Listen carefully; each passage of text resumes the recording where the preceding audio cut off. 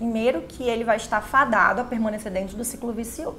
Ciclo vicioso esse, onde o tutor encontra os primeiros sintomas, aí ele, ele procura um veterinário, receita medicação, faz medicação, os sintomas vão se, vão, acaba a medicação, os sintomas voltam, e aí ele volta para o veterinário, e aí entra a medicação, e assim por Naquele diante. ciclo, né? E isso é um ciclo vicioso. Então, o cara, né, o tutor que ele não quiser ser um tutor classe A nesta vida, ele está fadado a estar dentro desse ciclo. You ready? You got me running, you got me running, got me running.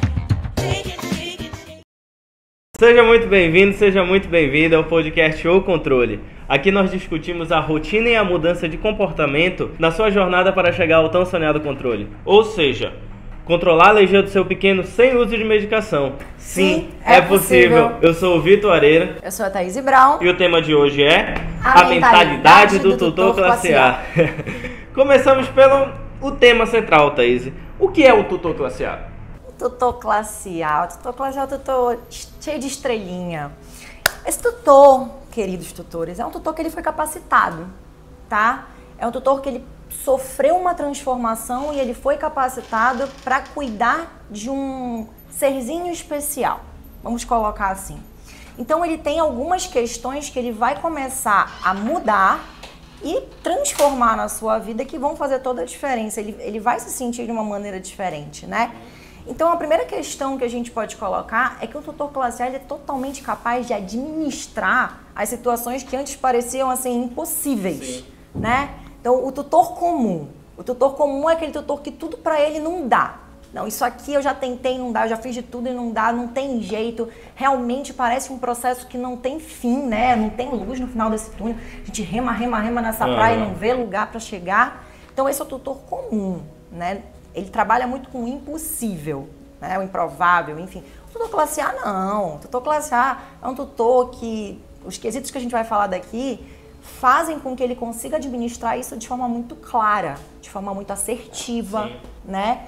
E não tem essa palavra, não existe impossível, né? O que ele puder fazer que estiver ao alcance dele, e às vezes até não está ao alcance dele, né? Ele se esforça para chegar lá, ele faz para tentar contornar essa Ele situação. tem a capacidade de buscar, né? O que Ele o tutor comum julga ser impossível, né? julga, É. perfeitamente colocado, né? Ele julga.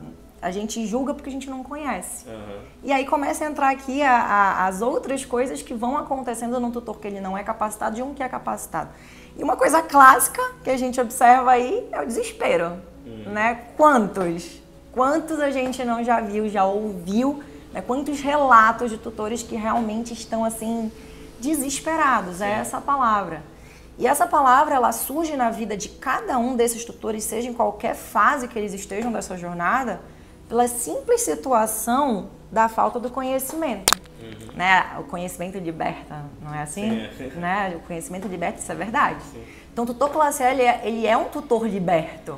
Ele é um tutor é, livre, au- autônomo. Autônomo, né? Acho que não ficou Sim. legal a palavra, mas Autônomo, ele tem mais uma auto- né? Autoconfiante, perfeito, porque ele tem conhecimento. É um cara que ele não é, é, é, minimiza os esforços que ele tem, o tempo que ele tem para estar dando uma olhada naquilo ali, conhecer a função das coisas, conhecer como aplica, conhecer as técnicas. Ele se aprofunda de uma maneira no mundo do alérgico. É que nem quando a gente chega numa cidade nova, né? Recentemente eu estive em Recife com a família e a gente chegou num lugar totalmente novo. Então eu tinha um guia, né? Tinha o primo do meu marido e tal, foi bacana. Mas se a gente não tivesse lá, era um mundo diferente. Né? Desde a gastronomia, tudo é diferente. Então eu ia ter que me planejar, né? E isso eu ia ter que fazer me informando. Ia sendo boca a boca, ia ser muito mais difícil. Né? Eu teria, teria que procurar em um lugar mais seguro, né? Talvez um, um site que fale somente sobre aquilo. Eu ia expandir o meu conhecimento em busca daquela situação. Então é mais ou menos isso. O tutor que não tem esse conhecimento, ele cai no desespero. Se eu não soubesse aonde eu fosse me guiar por lá, se não tivesse o GPS, por exemplo, eu ia entrar em desespero. Meu Deus, onde é que eu tô? Pra onde eu vou? O que, que eu vou fazer? Né? Na jornada de um alérgico, andando no mundo do alérgico, a gente vê o desespero acontecer porque eles não sabem para onde ir, o próximo passo.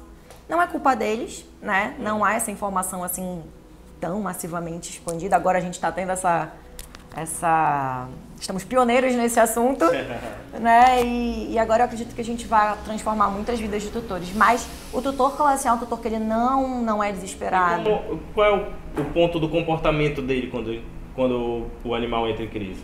Como é que o tutor classe A se comporta? O tutor classe A ele tem segurança. Sim. né? Ele tem clareza, ele tem foco, ele tem disciplina, ele tem conhecimento.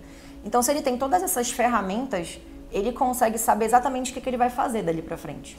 Pô, meu animal tá com a pele irritada, né? Tá com a pele inflamada. Então, é, eu inspecionei, eu percebi que essa situação aconteceu há dois, três dias. Eu preciso saber que atitudes eu irei tomar dentro do meu kit guerra, todo tutor classe A tem um kit guerra, né? Dentro do meu kit guerra eu tenho X, Y e Z e as funções disso aqui é para isso. Após a minha inspeção eu analisei e eu percebo, né, pela minha experiência, que o meu animal não está infeccionado, não tem micro-organismos, mas está inflamado, tá quente, tá intenso. Eu preciso desinflamar. O que, que eu vou fazer? O que, que eu tenho em casa? O que está na rotina dele? O que, que tem no kit dele de emergência? Então ele já está planejado. Ele não vai, meu Deus, o que eu vou fazer agora? Eu vou ter que sair para comprar. Não. Tá tudo em casa, tá tudo na mão dele, as coisas estão claras na cabeça, ele tá acompanhando. Quando a gente é pego de surpresa, o negócio dá uma, né, dá uma desajustada. Mas ele não, ele tá ali focado. É um das, dos quesitos que a gente vai comentar aqui também Entendi. né? Ah, dando assim é, um, um ponto bem afunilado do tutor classe A é um tutor que ele sabe que a responsabilidade é dele. Então, às vezes essa, essa frase ela pesa para muitos tutores, né? Mas não é para ser pesada, Uhum. porque é para ser só consciente. Isso aí é algo que eu tô te informando. A responsabilidade é sua, né? Minha, eu sou mãe de alérgico também.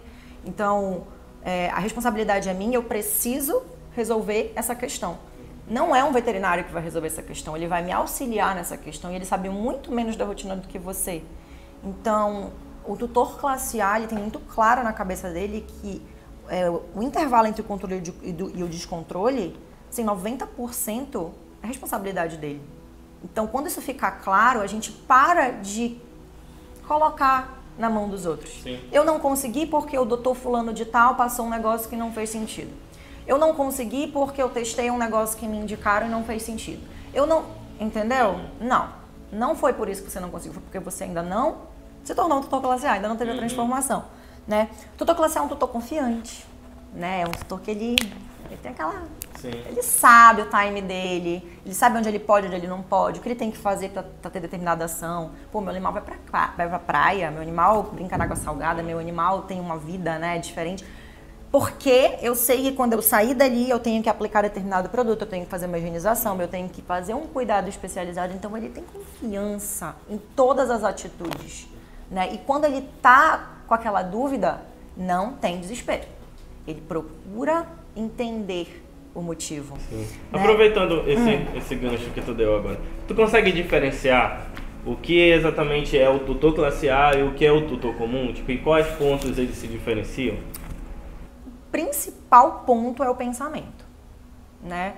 Toda mudança ela é interna antes de ser externa. Ninguém começa a fazer uma atividade totalmente nova sem antes ter pensado naquilo, sem Sim. ter matutado aquilo, né? Sem ter mastigado aquilo e, bom, eu cheguei a uma decisão. Então, o pensamento, que é a transformação, né, que eu falei. A, o- a transformação, ela vem de dentro da cabeça. O tutor comum é o tutor que ele tá totalmente contrário a tudo que eu acabei de falar. É um tutor que ele é desesperado, é um tutor que é desinformado, é um tutor que não é capacitado, né? Grosseiramente falando. É um tutor que não tem confiança, que não tem foco. Ele não sabe qual é o foco dele. O tutor classe A, ele sabe, ele não vai dar medicação. Por que, que ele entrou no Viva Bem Pet? Porque ele não quer dar medicação. Então, esse é o foco dele. O que ele vai fazer para isso não acontecer é o que ele vai aprender nessa transformação. Então, o pensamento dele vai ser sempre, sempre mudado. O, o tutor classe A, diferente do tutor comum, é um tutor que ele sabe que ele consegue resolver sozinho. A autonomia, né? A liberdade que eu falei. O tutor comum não. Ele se vê preso, acorrentado às vezes ao profissional físico. Uma dependência, né? Muito grande. Né? É que nem a gente já, acho que a gente já conversou no podcast é, se uma consulta comum se compararia com um método, né? Sim. Qual a diferença entre gente, milhares. Não precisa, tá? O, o- o profissional ele é suporte, ele não é rotina. Ele é para uma situação, é para uma, pra uma manutenção, é para um acompanhamento, ele não é para te dar a resposta. Até porque as respostas a gente observa, né? Qual é a, a resposta que ele dá? Remédio. Na Desfoca. grande maioria, né? Desfoca, desfoca. É, o tutor comum também tem uma outra situação. Também é bem, bem comum da gente ver. Ele acha que ele, acha- ele faz demais, né? É, já recebi tutores que, ah, doutora, eu não vou fazer determinado banho, essa frequência está muito acima do que, do que dá para eu fazer, né? A questão da prioridade, sabe? Então, Já acha que faz muito desse jeito. já acha que faz muito. E também tem aquela situação, né? Não adianta ele fazer muito se ele está fazendo errado. É, com certeza. Então, o muito ou pouco, te- tem a- a- algo que separa eles ali. Tá fazendo certo, tá fazendo errado, né? A qualidade do que tu estás fazendo, né? Porque não adianta tu fazer muito alguma coisa que está errada. Empregar tempo, energia em uma coisa que, né? É como se a gente fosse fazer, sei lá, um exemplo aqui. Eu vou bater um prego na parede com uma esponja. Sim, Né? vai passar o dia todo batendo que não vai adiantar. Agora, se tu tiver um martelo, uma ferramenta pra isso, tu vai precisar bater poucas vezes. Pronto. Aí entra outra coisa, o tutor comum ele não tem disciplina. Sim. Né? Ele, é claro que ele tem disciplina, ele não tem. Principalmente por ele ter esse, esse pensamento de eu acho que faço muito. A disciplina é um dia de cada vez, mas é todo dia. É um pouquinho todo dia, mas é todo dia. Você tem que fazer a inspeção. Todos os dias você tem que estar atento se a data de, de, de vermífugo venceu, se a vacina como é que tá, se qual foi o intervalo de banho, é, qual é a frequência ideal. Todo dia ele tem alguma coisa para ele fazer. Porque isso é rotina, né? Vira hábito mesmo. E o clássico, sempre recorre à medicação. Sempre recorre. Então eu tenho alunos que estão em várias épocas do programa de treinamento, né? Já, já é oi- vai- vamos entrar na oitava turma, né? Agora. Então cada um tem o seu time para chegar ao controle. E a ideia é que todos saiam da medicação. A grande maioria já sai desde os primeiros 30 dias, né? Principalmente na empolgação e se mantém. Mas tem tutores que têm um pouco mais de dificuldade, às vezes pela, mesma- pela, pela complexidade que é o pequeno. Tem pequenos muito difíceis de trabalhar, né? Exige um pouco mais de tempo. Então são os tutores que a gente vê às vezes que ainda recorrem à medicação, né? É muito eventual dentro do programa, muito eventual e a tendência é ficar cada vez menor. Agora, quando a gente olha para fora do programa, não é eventual. É sempre que dá. Então eu eu tô cansada de contar assim 5, 10 caixas de corticoide no intervalo de um ano. É muita coisa. Você não tomaria, né? Tu tomaria 10 caixas de corticoide Nunca. Então é muita coisa, o sistema vem muito debilitado. Então, o desespero do tutor comum faz com que ele tome atitudes que talvez ele nem saiba o problema que é ele estar fazendo isso. Né? E aí, para finalizar assim a diferença, eu acho que ele ele reclama mais do que ele faz. Isso é verdade, né? o tutor comum Um ele- grande mal, né? ele busca muito a desculpa pra, do porquê ele não fez aquilo, quando a gente tem que avaliar que o tempo é uma, uma questão de prioridade. Eu acredito que seja mais ou menos essa a linha bem diferente entre o tutor comum e o tutor classe A, né? São dois extremos. E quando foi a primeira vez que tu, tu na verdade, identificou que existia um tutor classe A e quem era esse tutor classe A? A primeira vez, nossa, foram tantos. Eu acho assim que a dentre os muitos resultados, o, o primeiro que mais me impactou, não o que mais me impactou, mas o primeiro que eu falei assim, eu acredito que foi até dela, eu não me recordo exatamente de onde surgiu o título do Tutor Classe A, mas foi de uma conversa Sim. que eu estava tendo com, com um aluno e, e o termo surgiu e pegou.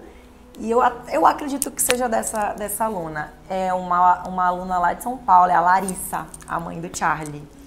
É, eu acho que ela foi da segunda turma, terceira, não me lembro exatamente, mas foi, foi bem do início.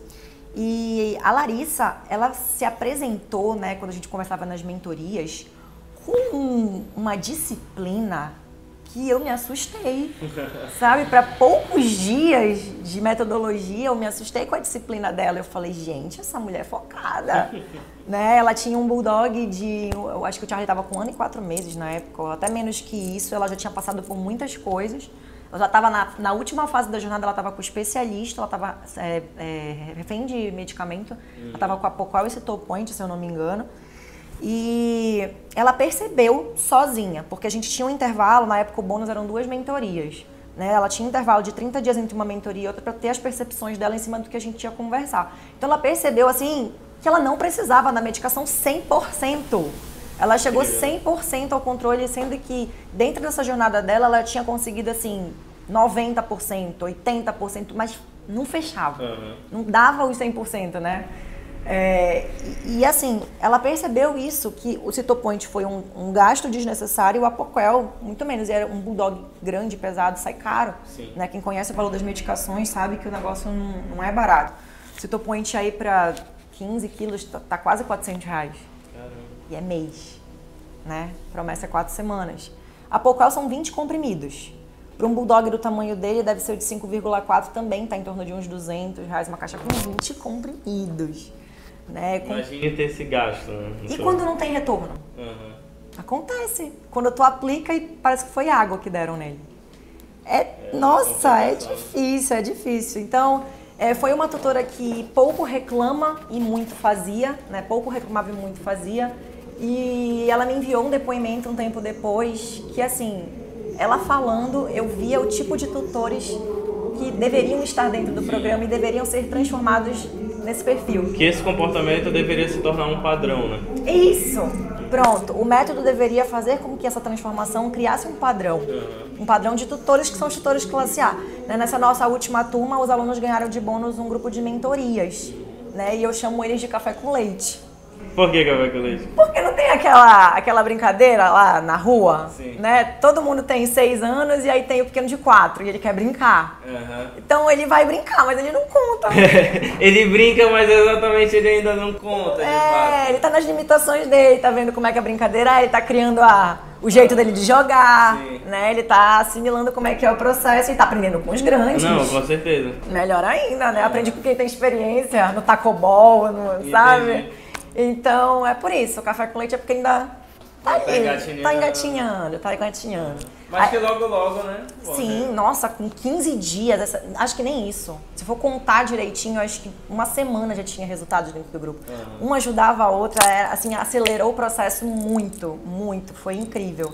Tô até pensando em outras coisas que a gente pode fazer com Sim. grupos de mentorados, mais pra frente a gente vê aí. Já deixaram de ser café com leite, então. Já, tá, já tão, tem muitos que já deixaram. É. Dentre essas turmas todas que nós temos, já tem muitos. Então, quem sabe uma turma de tutores classe A, né? Sim, Não com sei, de repente. E já aconteceu de um tutor classe A desistir e continuar como um tutor comum?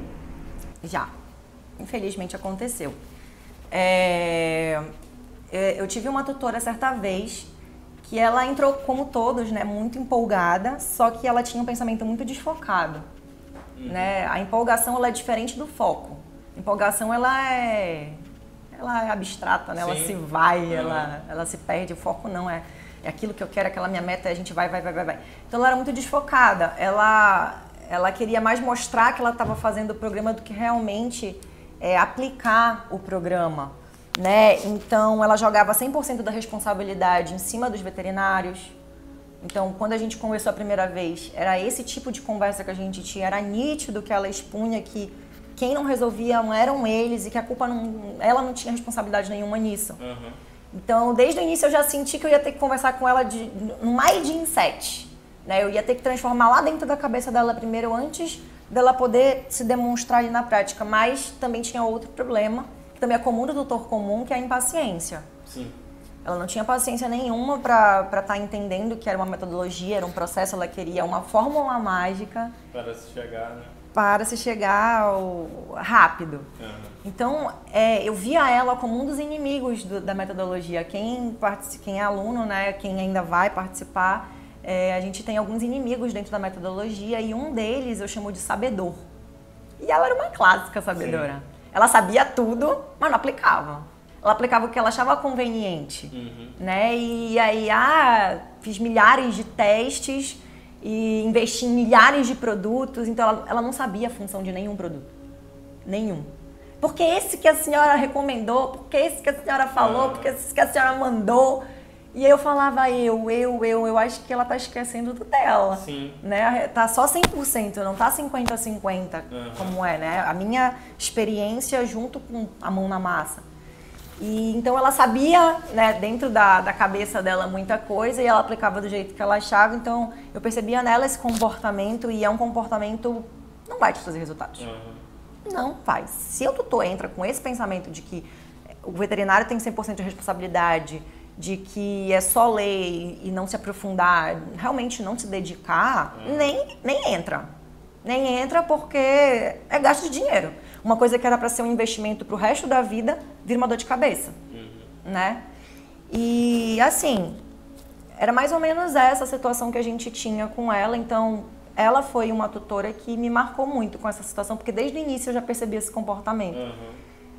Uma- é uma infelicidade, né? Mas às vezes esse tutor ele precisa apanhar um pouquinho mais. Infelizmente, né? Infelizmente, ele precisa ter um pouco mais de dificuldades nessa jornada para entender que aquele jeito que ela menosprezava era o jeito mais assertivo. Entendi. Indo, indo num caminho desse questionamento. E se o tutor comum não quiser virar um tutor classe A, o que isso pode gerar para ele? O que acontece de fato? Bom, primeiro que ele vai estar fadado a permanecer dentro do ciclo vicioso. Ciclo vicioso esse, onde o tutor encontra os primeiros sintomas, aí ele vai pro, pro- procura o primeiro veterinário, e aí é receitado. Primeiro veterinário não, ele procura um veterinário, receita medicação, faz medicação, os sintomas vão se, se vão, acaba a medicação, os sintomas voltam, e aí ele volta pro veterinário, e aí entra a medicação, e assim por diante. ciclo, né? E isso é um ciclo vicioso. Então, o cara, né, o tutor que ele não quiser ser um tutor classe A nesta vida, ele está fadado a estar dentro desse ciclo, infelizmente. Né? E ele vai viver pulando de profissional em profissional. Por quê? A gente tem a fase inicial, que às vezes ele quer resolver sozinho. A gente tem o processo de automedicação no meio do caminho, né? Às vezes ele já foi em vários profissionais, ele só repete aquela receita. Isso acontece muito, que é um, um erro gravíssimo, né? Ele tenta várias maneiras, mas eventualmente ele vai estar pulando de profissional em profissional. Pode ser clínicos gerais, que ele vai ter mais dor de cabeça, né? Podem ser dermatologistas, que aí aumenta mais o custo né, de acompanhamento, porque é um especialista. Então ele está ali nessa situação. Ele é um tutor frustrado, que é diferente do tutor insatisfeito. Porque um tutor Qual insatisfeito. é a diferença do. Assim, Vitor, o, o tutor insatisfeito, ele é um tutor que ele, ele não está confortável com aquela situação e ele quer fazer alguma coisa para ele mudar. Ok. É assim que o cérebro dele pensa. Ele não está confortável aqui e ele quer mudar daqui. O tutor que ele está frustrado, ele simplesmente bloqueia. Ele ignora. E parece pesado, mas acontece. Senão, não aconteceriam os abandonos. Sim. E os abandonos não são só os abandonos para fora de casa, que isso também acontece. São os abandonos dentro do lar. Né? Eu não quero nem olhar porque ele está se coçando, está se mutilando. E procrastina, e procrastina, e procrastina. e pro- Ele está frustrado porque ele já investiu o tempo, a energia, a esperança dele de forma intensa e simplesmente o cérebro dele falou e bloqueou. Então, o, o tutor que ele não aspira em ser um tutor classe A, ele está fadado a ser frustrado em algum momento. Infelizmente. Eu já, já vi situações parecidas com essa e é triste pra todo mundo. É triste pro tutor, é triste pro animal, é triste pras pessoas que vê essa situação. Então é, é algo bem complicado mesmo. E aí gera o quê? Uma cabeça cheia. Né? Aquela, aquela situação que eu faço, o desespero, é uma cabeça que está perturbada. É uma cabeça, cabeça que está cheia de qualquer âmbito da nossa vida, é uma cabeça confusa. Se você está com muito trabalho acumulado, não faz uma planilha, não raciocina, não se planeja, não se organiza, não consegue fazer as coisas que tu tem para fazer. Né? Aí a gente cai aí mais uma vez no erro. Então é um, é um cara que está com a cabeça confusa, ele tem um desgaste físico, porque quando a gente está com a cabeça, a mente fraca, a mente é, alterada, a gente tem um desgaste físico também, não é só emocional, né? É físico também. É dinheiro que entra, que, nem- que sai que nem água, né? Torneira aberta e não pouco nenhum resultado. Então, o tutor que não quer se transformar é um tutor que ele tem muitas possibilidades negativas na vida dele, pesadíssimas. É, inclusive, é, eu já vi tutores tirarem dinheiro das suas obrigações, ou então terem que pesar. Eu vou pagar, sei lá, a internet esse mês ou eu vou custear esse tratamento? É, dívida de cartão Eu tenho um- um- uma proximidade muito grande com os meus alunos, né? Eu sempre converso, eu converso sobre orçamento. A saúde financeira é importante para a saúde mental, que é importante para a saúde física, que é importante para a saúde do pequeno. Que vai né? refletir nele, né? vai refletir nele. Então, eu vejo as situações gritantes que esses tutores passam porque não, houve- não houve essa transformação, né? E vive, vai viver a vida inteira atrás do remédio mágico. Vai viver. Se ele não quiser mudar o pensamento dele, ele vai ter um único pensamento, que é remédio que controla e que existe um mágico que vai resolver o problema do filho dele. E a gente te viu aqui ao longo desse podcast que para se tornar um tutor classe A, há necessidade de ter um comprometimento, a necessidade de foco. Aí eu te pergunto, com base nisso, o que vale mais a pena? Tentar ser um tutor classe A ou continuar sendo um tutor comum? A verdade, Vitor, é que há uma comodidade né, em ser um tutor comum e dá uma, na verdade, dá uma falsa impressão de, de comodidade. Né? Quando a gente está aqui na nossa zona de conforto, é porque a gente está acostumado com esses hábitos que nós temos. Então, a gente tem essa falsa comodidade de que é muito mais simples a gente dar um comprimido do que dar um banho nele Sim, é verdade. do que aplicar um hidratante, do que pensar no que foi que aconteceu, né? É, é muito mais cômodo fazer uma caixa de antibiótico, às vezes 20, 30 dias de antibiótico e ver aquelas, aquelas pipoquinhas do corpo sumirem sem precisar fazer uma aplicação sequer. Né? É muito mais cômodo. Poxa, Aham. Agora, quantas vezes isso se repete no ano? Às vezes no mês, né? Então, é... Quanto tu tá agredindo né, esse animal quando faz um negócio desse? a imunidade, porque o antibiótico, ele leva tudo. Ele não leva só o bom, o ruim, ele leva o bom também. Então ele enfraquece muito. E tem animais que têm a, a mucosa gástrica muito sensível, então a gente tem outros transtornos, animais que desenvolvem gastrite medicamentosa, úlcera, Sim. transtornos gastrointestinais que às vezes o tutor fica maluco e pode sido gerado por muita medicação Aham. né? É, é fácil, é cômodo jogar a responsabilidade para o outro, né? Jogar para o veterinário, jogar para o cara, para o balconista que indicou errado, para o tutor daquele grupo que falou uma coisa e não foi isso que aconteceu com o teu filho. É cômodo jogar a responsabilidade para o outro, mas a responsabilidade não é do outro. É dono do dono, do tutor daquele pequeno. A gente assume um compromisso seríssimo. É uma adoção. Aham. Né? Não é porque é cachorro que não tem a sua importância, né? Hoje eles são membros da família. Tem os que aceitam, tem os que não. Eu acredito que tem até uma lei, né? Tu que é da área, eu acredito que já tem até uma lei Sim, que, que sim. foi liberada por isso, né? Então, são membros da família. Então, a responsabilidade é de quem tá ali. Adotei, a responsabilidade é minha. Se você adota uma criança e essa criança vem com algum problema de saúde, a responsabilidade é sua cuidar daquela Cuidar, condição sim. né? Não é, não é porque não nasceu de você que não tem esse peso. E assim, é, o tutor ele acredita que parece ser muito mais barato a gente pegar uma indicação do que a gente botar a mão na massa de uma forma mais aprofundada. Realmente, analisar, inspecionar, testar, é, entender né, o, o funcionamento das coisas exige um pouco mais de tempo. Mas esse tempo, ele retorna para ti a curto, médio e longo Sim. prazo. Aham. Então, Ele é basicamente um investimento de tempo, né? Tá investindo o teu tempo agora justamente para quando for lá na frente tu não precisar fazer certas coisas. Exatamente. Então, eu acho que tem muitos prós em ser um tutor classe A e muitos contras em ser um tutor comum. Não tem prós e contras em cada. Eu não consigo definir essa, essa diferença porque é muito difícil ser um tutor comum hoje. Muito difícil, muito difícil mesmo. E Thaís, elenca pra gente quais as atitudes não pode faltar de maneira alguma no tutor A. Ah, vai ser rapidinho essa. Comprometimento. O cara, ele tem que entrar de cabeça. Não dá pra procrastinar. Ponto. Consistência. Esse tutor, ele tem que ser assíduo. Isso não vai acontecer da noite pro dia, mas isso vai acontecer porque ele é comprometido. Sim. Então, todos os dias ele faz um pouquinho, todos os dias isso aí vira rotina. Então, tem consistência. Tem que ser todos os dias. Né? O tutor classe A, ele é um tutor consistente. Ele é um tutor organizado. O tutor, a, a- a classe A, ele é um tutor que ele tem planner, ele tem agenda, ele tem calendário, ele tem tudo, né? Do jeito dele, ele faz um- uma, uma rotina de planejamento. Sim. Sem planejamento visual, não tem controle. né? Porque a cabeça ela é falha. É muita informação. É fácil ouvir da boca de um, de um profissional que a natureza das alergias é confusa. É, e aí? É isso?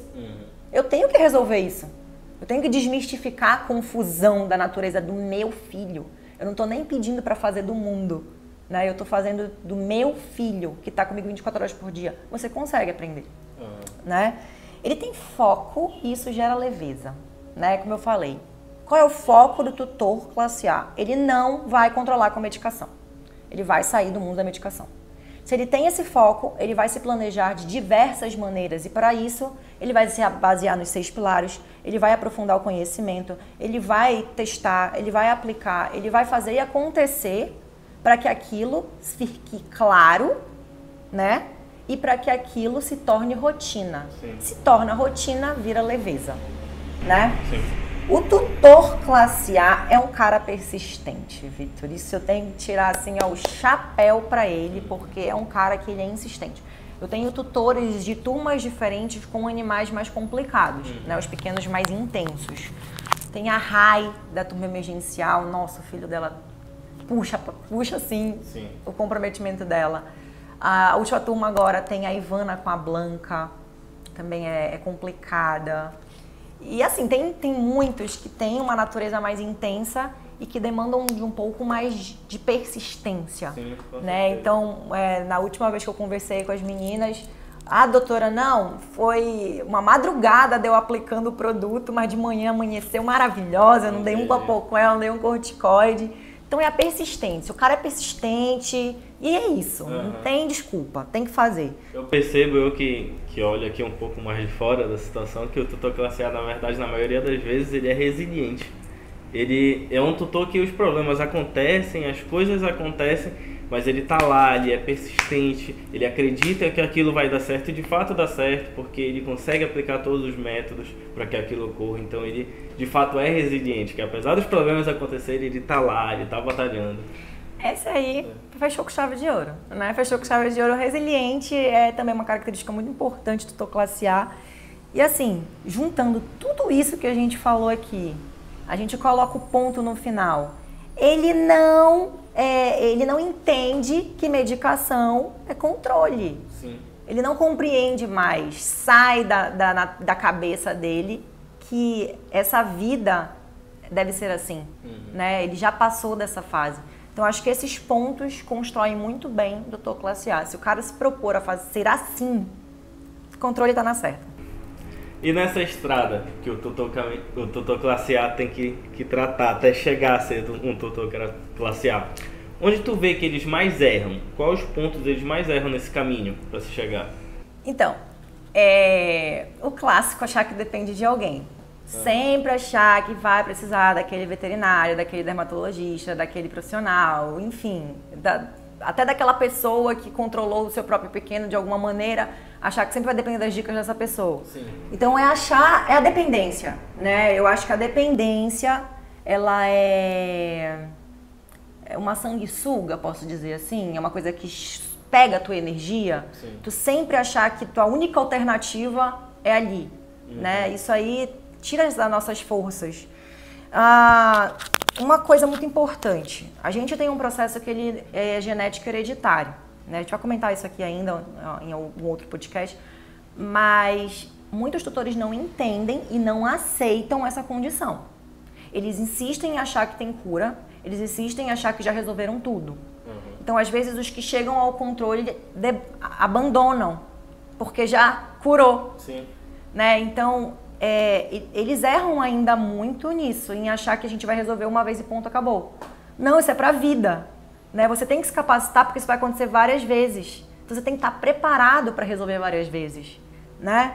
Então, achar que uma rotina alinhada é, é- é exagero é uma, uma situação que é vista pela questão é, é, é, intuitiva que parece que vai gerar trabalho, Uhum. né? Não, vai exigir muito do meu tempo, né? Então ele acha que fazer isso assado, cozido, frito, fazer o primeiro, segundo, terceiro, quarto, quinto, sexto lá é exagero, talvez até frescura, né? Já ouvi isso da boca de alguns tutores. É frescura, não. O cachorro da minha mãe, assim, assado cozido, não tem por- porcaria nenhuma, né? E, enfim. Passou a vida toda fazendo isso e. Agora, dois- se eu fosse falar isso, né, pô, a Lala, cinco, oito anos não manifestou nada, por que agora? Agora ela. Né? Não, não vou aceitar. Isso é uma história que eu vou contar outro dia pra vocês, que eu também tive essa fase de, de não Não aceitação, né? É, mas a rotina ideal, ela tem que estar alinhada e ela faz parte e ela existe, ela tem que existir. Né? A falta de informação é o clássico, o tutor que, que erra muito é o tutor que está totalmente desinformado. Ele não sabe nem por onde vai, nem por onde vem. Tá? E começar cedo. O ele não começa cedo. Ele faz o básico cedo. Vacina, vermífugo, o shampoo mais bonitinho, mais cheirosinho, talvez o shampoo que se compare até o preço do cachorro, né? Não, esse, esse Lulu da Pomerânia aqui, esse Spitz alemão foi 10 mil reais, então tem que usar a linha cosmética tal, enfim. Mas eles pensam, eles dão outras prioridades, na verdade, né? E, e só começam mesmo quando o processo acontece. Quando a gente tem que se antecipar. Eu não sei se teu pequeno é alérgico, mas tu tem que conhecer o pai e a mãe. Pra poder se antecipar desde aqui. Aham. Porque o, o- o dono do canil ele não vai falar pra ti que ele é alérgico, nem que ele é filho de alérgico, senão ele não vende.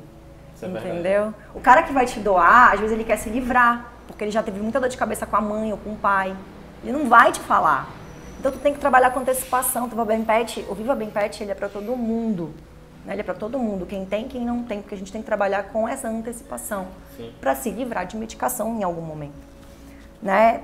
E a normalização da medicação. Isso é um ponto muito importante é, no- nos erros mais comuns dos tutores. Sim. É como se eles tornassem normal esse processo de sempre estar medicando. Perfeito. É exatamente isso. É, faz parte da rotina dele, né? É assim que me ensinaram, é assim que eu consigo ver respostas. E para mim essas respostas já são rotina. Então vira normal. Sim. Mas porque ele não se informa das consequências e efeitos colaterais daquilo ali. O que é um grande erro, né? Tornar isso normal. Muito, muito. A gente devia ter o hábito de nós lermos bulas antes de tomarmos qualquer coisa. Sim. Quanto mais obrigarmos um ser a tomar alguma coisa, Aham. né? Às vezes o tutor ele tá gerando um quadro sem volta que ele nem sabe. Sim, é verdade. E a insistir em testes sem fundamento, né? Entra mais uma vez aí na parte da, da, da falta de informação. Quando uma coisa não está dando certo, a gente troca, a gente estaciona e não. Ele continua insistindo. Sim. O tutor comum, ele continua, ele é insistente, ele é, pe- ele é persistente do jeito errado. Aham. Sabe aquela história, eu faço muito, mas não adianta nada, que faz errado? O, o gasto de energia ele é voltado para algo errado, né? Martelar o prego na parede com uma esponja. Sim. Ele ensi... Menino, tem tutor que usa um Eu ano. gostei muito dessa analogia porque de verdade é o que, é o que parece. É o que parece. Então ela, ela é um ano que ela tá usando um, um shampoo medicamentoso agressivíssimo e aquela pele nunca viu hidratante. Aham. Né? E não tá fazendo na maldade. Não- e, nossa, isso aqui mais dói que tá fazendo no, no ceti- ceticismo, seria a palavra? É, cético, né? Uma pessoa cética. tá cego, não tá totalmente desinformado desse Aham. mundo. E então é, é complicado e ele não conhece o animal dele profundamente. Então se ele não conhece, ele não sabe inspecionar, ele não sabe os danos que ele está gerando. Sim. É uma, uma construção de raciocínios, né? E quantos, quantos alunos já conseguiram chegar a ser um tutor certo? Então, desde o nosso último cálculo, né, nossa última contagem, são 1.022 alunos. 1022. 1.022 pessoas que saíram da. Não é 20 1.022 alunos, deixa eu recolocar. Aham. São 1.022 pessoas que saíram da sua zona de conforto, né, o que era cômodo, o que era normal, e acreditaram que a transformação era a chave para o controle. Sim. São 1.022 pessoas capacitadas que foram transformadas, né? Que deram qualidade, são 1.022 pessoas que deram qualidade de vida. Porque achar que controle medicamentoso gera qualidade é um erro. É um erro. Então, 1.022 pessoas que deram qualidade de vida para os pequenos. Talvez ainda enfrentem crises, sim. A gente tá, tem um ano de processo, mas são 1.022 que estão tranquilas, sabe exatamente o que vão fazer e quando vão fazer. né? São tutores que passam a ser confiantes, são tutores que passam a brilhar o ar do tutor classe A. É, é, eu costumo dizer que o tutor classe A é aquele cara que ele olha pro animal que tá lá do outro lado da rua, ou que tá aqui do lado da cadeira do pet shop, Aham. e fala, nossa, bora dar uma hidratada nessa pele, né? É a transformação de 1022 pessoas. Não só pessoas, porque todo mundo tem um parente dentro de casa. Sim. Então, as mentorias, por exemplo, eu já vejo os maridos sentando, as mães sentando junto com os filhos. Então, é uma conexão familiar. Então, eu acho que a gente está gerando uma capacitação, é, assim, exponencial, Sim. né? O negócio ele está ganhando uma proporção. Então, é essa ideia do Viva Bem Pet mesmo, é o foco, é expandir o conhecimento massivamente, porque a gente minimize as consequências desses pequenos. Sim, e a gente certeza. consiga ter, ter paz, né? É, são 1022 pessoas que têm paz. Com certeza. E tu pode fazer pra mim um- uma analogia? Para as pessoas entenderem um pouquinho mais. É, um- uma outra analogia pra gente, tipo, do tutor comum para o tutor classe A. Um- tipo, uma analogia que possa fazer esse processo. Sentido. É. Tá, agora bora trazer aqui para o mundo humano. Para homens e mulheres. Todo mundo quer emagrecer, né? Sim, geralmente todo mundo. Todo mundo tá quer perder um quilo, que seja. Todo mundo quer emagrecer. Aham. Então, ainda mais agora que tá chegando as festividades, né? Eu quero emagrecer agora para poder comer depois. É, é verdade. Então, é, todo mundo quer emagrecer. Então, quando a gente quer emagrecer, a gente tem esse objetivo muito claro. Eu quero perder X quilos. Eu quero tonificar, eu quero perder essa celulite, eu quero, enfim, eu quero fazer isso aqui. Então, é, isso é um evento. Né? É um evento de saúde, é um evento de beleza, é um evento de, de qualidade de vida. Eu não sei qual é o objetivo central do emagrecimento. Ele quer emagrecer porque ele quer ficar, ela, ela quer caber no vestido? Ela quer emagrecer porque ela vai para um casamento, ela vai casar? Ela quer emagrecer porque ela quer melhorar a qualidade de vida, de repente está com triglicerídeos alto, está propensa a diabetes, eu não sei. Mas o objetivo central qual é? Eu quero sair disso para chegar nisso por conta disso. Uhum. Então essa pessoa ela tem isso muito claro. Então assim também é dentro do método. O cara tem muito claro o que ele quer, sair do mundo da medicação, né? Então essa pessoa ela vai procurar uma maneira de chegar nesse objetivo. E ela tem duas formas: ou ela vai sozinha, ou ela vai com alguém. E sozinha é mais fácil ela errar, e com alguém é mais fácil ela acertar, Sim. né? Depende dela, sim. Aquele profissional não vai fazer o agachamento para ela, É. não vai colocar o alface na dieta dela Ela que precisa. não vai fazer a lista de compras para se programar para ir lá no supermercado, para Aham. tirar toda a porcaria de casa e deixar a comida direitinha. Ele não vai fazer isso. Sim. Então é assim que é o método, né? O, o tutor ele quer sair da medicação, mas eu não vou lá dar o banho. Hum. Eu não vou lá inspecionar, né? 50%.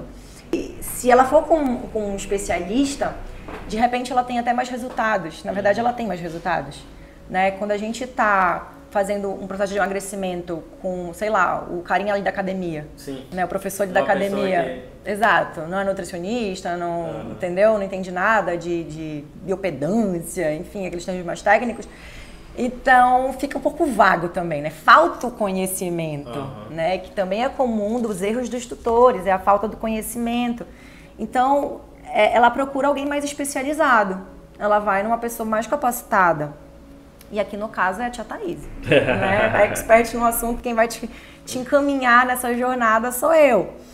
E, e tem ainda o pensamento contínuo, Aham. né? Aquela pessoa que teve aquele objetivo inicial para evento ou para caber num vestido, fatidicamente, após ela chegar no resultado dela, ela normalmente engorda de novo. Sim. Ela relaxa e acaba voltando ao estado. Porque o objetivo dela era dela, né? muito, era muito superficial, né? Então não houve a transformação. Então o cara que ele entra no programa de treinamento e ele tem um pensamento de só resolver aquela questão, aquela única vez, Uhum. também não vai encontrar sucesso aqui. É verdade, né? Porque ele precisa dar continuidade para a transformação acontecer. E aí essa pessoa, não- tendo essa transformação, ela vai chegar no peso que ela quer, talvez atingir até mais é, ob- obstáculos que ela, que ela via talvez impossível, e vai continuar com aquilo pro resto da vida, porque houve a transformação. Isso cai naquela questão que tu falou anteriormente, né? Da empolgação pro foco, né? A empolgação é a pessoa que quer para um evento conseguir de fato alguma coisa e diferente daquela que tem um foco, que quer mudar a vida, que quer ter um- uma outra qualidade de vida. Perfeito, Vitor.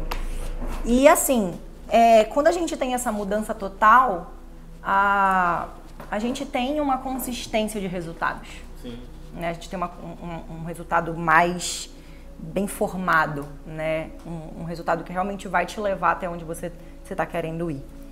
Daí é, teve um, um estudo feito aqui pelo que foi noticiado no portal G1, que mostra que 32% dos animais que vão ao consultório, eles vão por problemas de pele no Brasil. É verdade. É impressionante esse dado, né? É impressionante, né? Assustador, mas é real.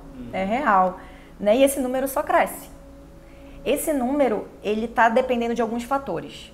Como eu comentei ali acima, né? Vamos falar um pouco mais específico. O processo é genético. Esse animal ele tem um erro no código genético. Né? Lá dentro dele tá errado. E nasceu assim, tudo bem com isso. Mas é assim. Só que esse código genético ele tem uma característica hereditária. Então ele passa de geração em geração. Então, se aquele papai, cachorrinho, tem alergia, possivelmente os filhos dele também vão ter, ou os netos dele. E assim vai indo. Então, observe, um casal, dependendo da raça, tem no mínimo dois filhotes. Quem tem 15 filhotes, 20 filhotes, como são as raças de porte grande. Sim. Né? Então, olha a quantidade de alérgicos que vai surgindo. Né? E assim, a- os tutores eles continuam desinformados mesmo com esse número crescendo. E é isso que está acontecendo, é esse ciclo horrível. A, a situação ela não tem controle, porque quem vende não está nem aí, vende mesmo e vai passando e vai passando. E isso vai se proliferando, porque às vezes o tutor quer tirar um, um filho daquela ninhada, porque ele ama o animal dele, ele quer tirar mais um. Aí ele junta com o cachorro do amigo lá que ele também não sabe se é alérgico ou não. E assim vai se construindo novos alérgicos todos os dias. Então, os tutores, eles. O dado, né? Problemas de pele no Brasil. Ninguém falou problemas alérgicos Sim, no falou Brasil. problema de pele, né? Porque é isso que o tutor enxerga, que é uma pereba, uma curubinha, um problema que ele está passando naquele momento. Né? Mas não, a gente pode sim estar lidando com processos alérgicos. E é um número que só cresce, cresce, cresce, cresce. Então a gente está aqui para realmente quebrar muitas crenças limitantes desses tutores, Aham. para que a gente consiga conquistar a qualidade de vida, porque é um juramento da profissão, né? Vamos combinar que eu tô aqui para oferecer qualidade de vida para todo mundo. E até por isso que eu tô querendo me desligar um pouco do físico para dar mais atenção a mais pessoas. Eu acredito que isso vai, vai crescer, vai diminuir esse número, por exemplo. De repente a, a, a Thaís consegue diminuir esse número capacitando tutores pelo Brasil Com afora. certeza. E eu sinto também que há uma falta, uma falta de estímulo, digamos assim, né? Falta. Para que, que essa medicação ocorra sempre, que parece que não há uma outra forma né, de se chegar ao... É, isso acontece pelo incentivo do profissional, inclusive, que é mais difícil ainda, porque o tutor ele vai totalmente confiável, confiando né, na- na- no profissional que ele está procurando, que estudou, se capacitou para isso, na teoria é isso. Sim. Mas se ele encontra um clínico geral, as chances dele conseguir não fazer medicação caem assim, 90% de chance. Né? Quando ele chega no especialista, infelizmente, não muda muita coisa. Talvez entre ali um hidratante, talvez entre ali um shampoo mais terapêutico, mas em geral corticoide entra, apoquel entra, citoponte entra. Tem muita tecnologia na dermato hoje que cresce o olho de todo mundo.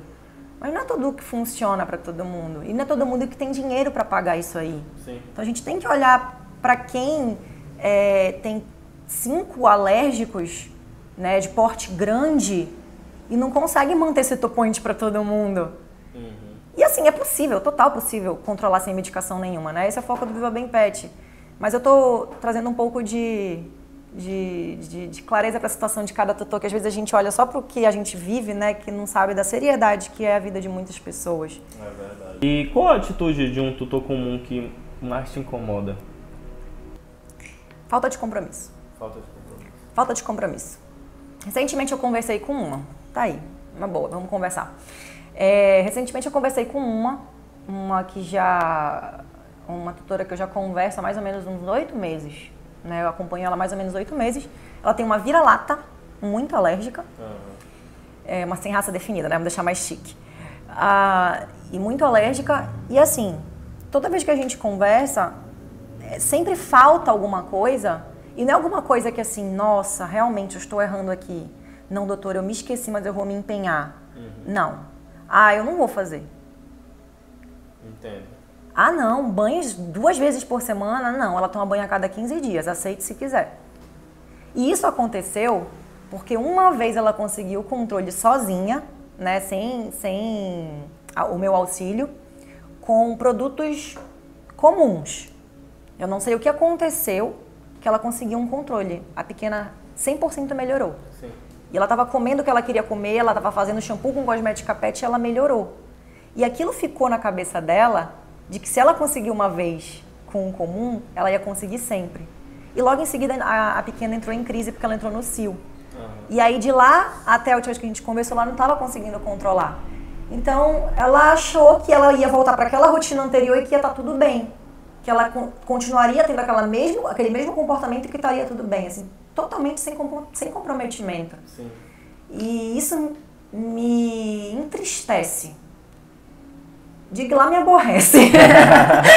porque a gente fala, fala, fala, É fala, sabe? tira a gente do, do sério. É, né? tira do sério porque é uma coisa que eu não posso resolver por ela. Eu não tenho como resolver e eu não vou prescrever um corticoide.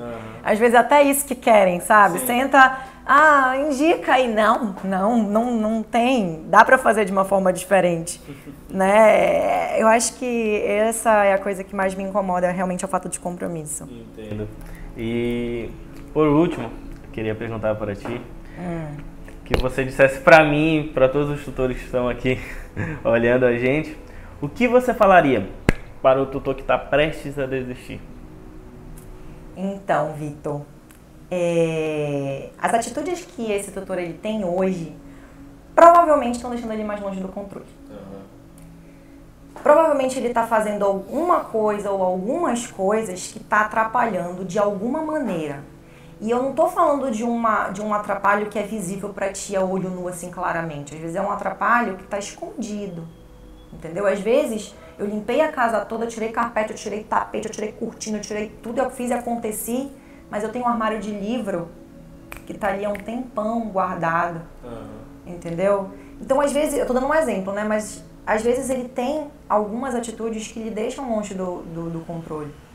As medicações é são um caminho sem volta, tutores. As medicações, elas não vão te trazer benefícios a médio e longo prazo. Às vezes nem a curto, né? Como a gente vê algumas medicações sendo feitas e não tendo resposta nenhuma ou agredindo o organismo.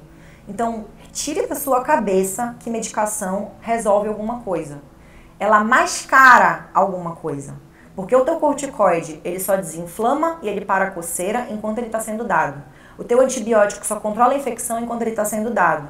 O teu shampoo só resolve a infecção enquanto ele está sendo lavado. A pele só regenera quando ela está sendo hidratada. E muitas outras coisas que a gente tem que alinhar que não precisa de medicação.